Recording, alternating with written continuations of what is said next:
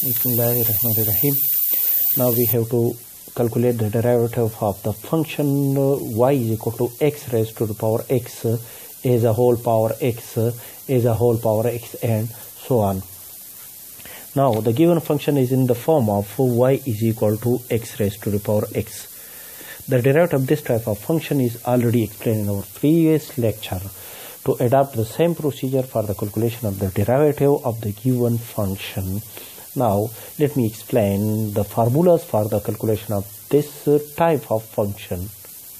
Now one of the function when which is called uh, power rule power when uh, the function is in the form of x raised to power n we adopt the power rule for the calculation of the derivative of this function where x is the variable and n is the constant which is the derivative of this type of function is equal to n x raised to power n minus 1 and another formula uh, when the function is an exponential function that is a raised power x is the base base is the constant and x is the variable. So the derivative of this type of function is uh, equal to a raised power x natural log of a.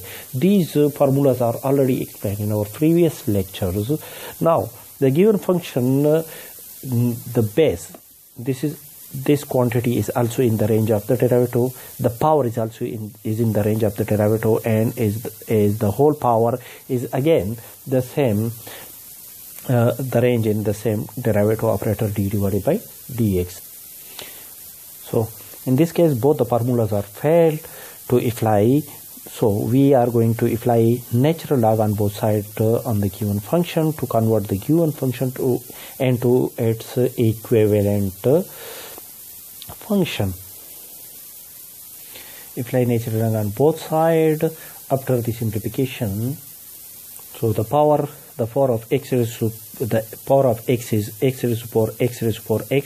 This power is uh, uh, with 1 which is this is this x is equal to this x and the power this is, is x is this one and this x is this one and so on Multiply by natural log of the quantity x. Here, uh, a well-known formula which is uh, which is explained in our previous.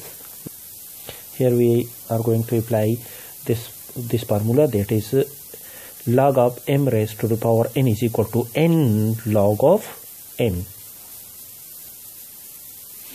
Now x raised to uh, power x raised to power x raised to power x is equal to y. Substitute, replace this quantity by y. After the simplification, we get natural log of y is equal to y natural log of x. Now this is the equivalent function of the original function and now we can uh, calculate the derivative of this type of function easily that is this is the product of two quantities y and natural log of x and this is a single quantity natural log of y. Now we uh, apply the derivative operator on both sides of this function now apply the derivative operator d divided by dx on both sides of this function and this is the product of two function. Now we are going to apply the product rule for the derivative of this function. Now uh, we are going to apply the derivative of the natural log of x. Uh, the when we apply derivative operator on this function it is equal to 1 divided by x. This quantity x multiplied by derivative of x. This is the derivative of natural log of x. So apply this formula for the derivative for the calculation of the derivative of natural log of y which is equal to 1 divided by y multiply by derivative of y with respect to x is equal to this is the product of two function first function derivative of the second plus uh, second function derivative of the first. Now again we are going to apply the derivative of natural log of x is it is explained. Now 1 divided by y d divided by x of y is equal to y. The derivative of natural log of x is equal to 1 divided by x multiplied by derivative of x with respect to x plus natural log of x multiplied by derivative of y with respect to x. Re rearrange the given function. Uh, which is equal to 1 divided by y d divided by dx of y minus uh, log of x d divided by dx of y is equal to y divided by x multiplied by the derivative of x with respect to with respect to x is equal to 1